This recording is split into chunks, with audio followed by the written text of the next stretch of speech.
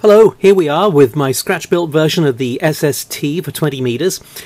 Um, by the way, this, this drives headphones really nicely, but it doesn't drive a speaker to anything more than very low volume. So for the purposes of this video, I've got it plugged into an external amplifier. Let's turn the volume up. Uh, my rig, by the way, covers, mine covers about 14054 to 14, no, 14055 to 14064. So Let's turn the volume fairly well up and start from the bottom of the band and see what we can get. There's not much on the band. Horrible conditions.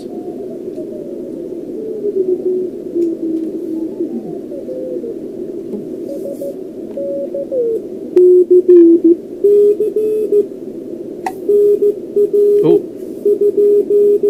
See the AGC LED? Let me uh, lower the blind a bit, so if the AGC LED comes on you'll be able to see it.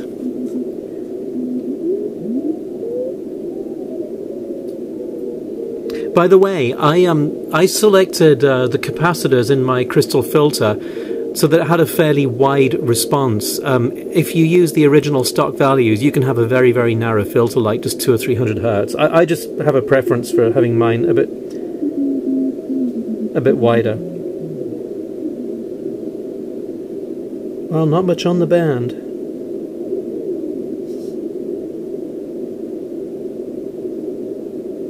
But that's got nothing to do with the sensitivity of this receiver. It's it's the band conditions. This is actually a very sensitive receiver. And Jingle's the blind cat. No, no, Jing, I'm making a video, not right now. No, Jing, don't come into the video, please. Not, no, no, no, Jingles, please. No, no, no. Jing, oh my gosh, no. Jingy.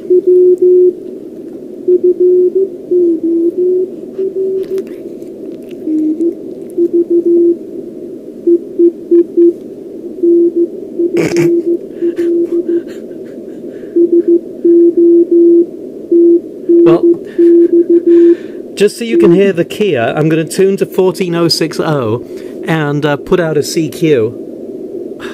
Gosh, jingles, you know, this is really annoying. This is great. I've got this little memory keyer, so here we go. Here we go. Let's have a listen.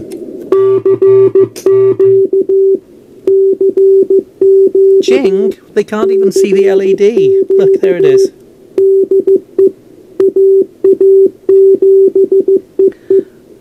The buzzing, by the way, was the buzzing of the speaker in my amplifier. The, the rig, the side tone in the rig and the headphones actually sounds really nice.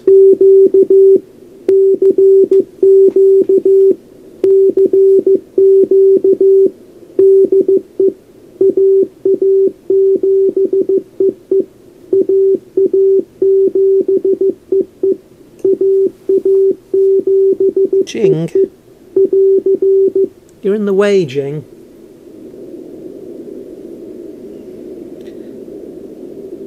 Can't do anything around here with these cats. Anyway, well, let's have another quick tune around.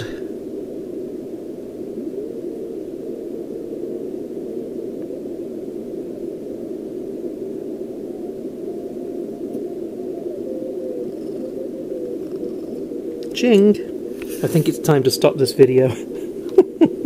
well, I hope that gives you a rough idea of what the SST sounds like. It does sound nicer in headphones than it did on my amplifier.